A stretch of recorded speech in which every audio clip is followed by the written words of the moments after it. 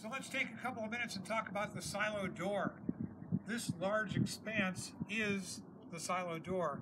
It's 60 feet wide, 40 feet long, and the entire thing weighs 760 tons. That is a million and a half pounds. It's mostly steel, but there's a little bit of concrete down inside to give it some added mass. The entire structure, all 760 tons, all million and a half pounds, can be opened with a hydraulic winch in 20 seconds flat. Here at the museum, the silo door is jammed halfway open. And that was because the Russians wanted some assurance that we wouldn't be able to open the door all the way anymore, so we couldn't launch a missile out of here. So the door is halfway open. This is the, uh, the leading or the trailing edge of the door, depending on which way it's going. And when the door is fully closed, this edge rolls over and bumps up against this wall right here. The door rides back and forth on railroad tracks, just like a freight train has wheels, just like a freight car does. Uh, and those are buried under this concrete right now.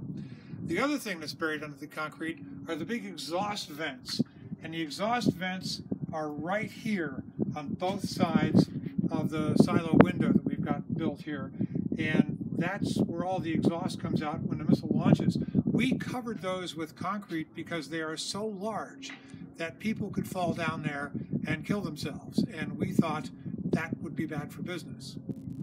This is a door bumper. When you've got a door that weighs 760 tons, you don't want to slam it. So this big hydraulic piston brings the door to a gentle stop. These large concrete blocks were installed by the museum to assure the Russians that we can no longer open the door all the way. These actually sit on the rails that the door moves on. This assembly right here is the original door stop. So uh, when the door opens fully, that big uh, piston that we just talked about comes over and hits this stop right here and brings the door to a stop.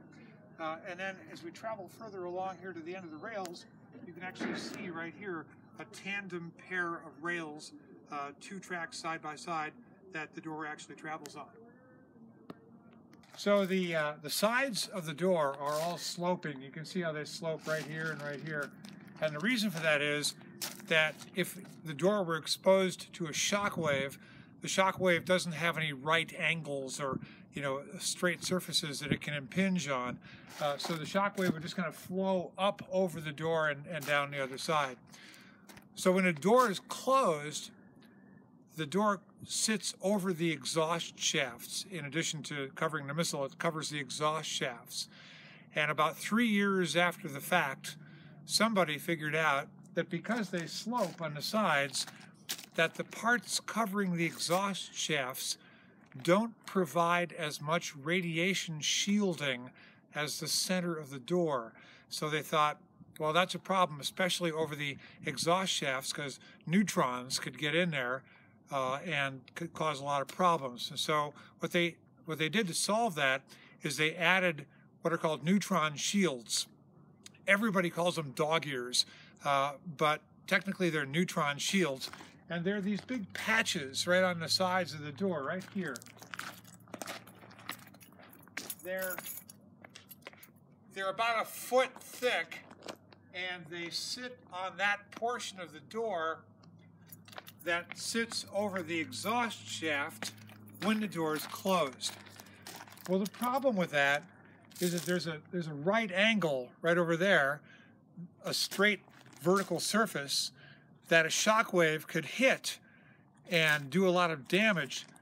What they don't want to happen is that they don't want to have the energy of the shock wave absorbed by the door. They want the door to kind of they want it to kind of flow over the door. But once you add the dog ears, that's not possible anymore.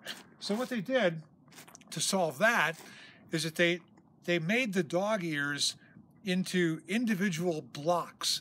You can't really see them because they've been painted over, but if you look closely, the the dog ears are made out of individual blocks about two feet square and a, and a foot thick, and they're only loosely coupled to the door.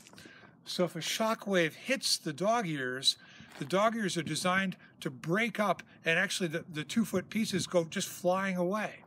Uh, and what happens then is that the, the energy of the shock wave is absorbed by the dog ears and, and it just go they just fly away uh, rather than being absorbed by the door.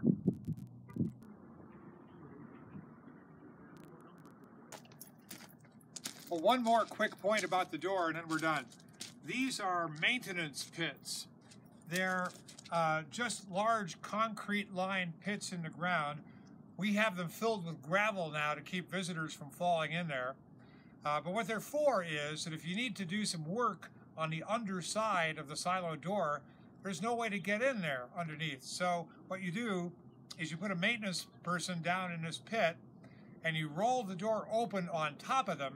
And then once the door is open, they can crawl around underneath there and uh, grease things or tighten bolts or do whatever they need to do. There are two pits. There's one here and there's one over there, and they serve the same same purpose. So that's a quick primer on the door. There'll be a quiz, so I hope you were paying attention. Thanks for watching.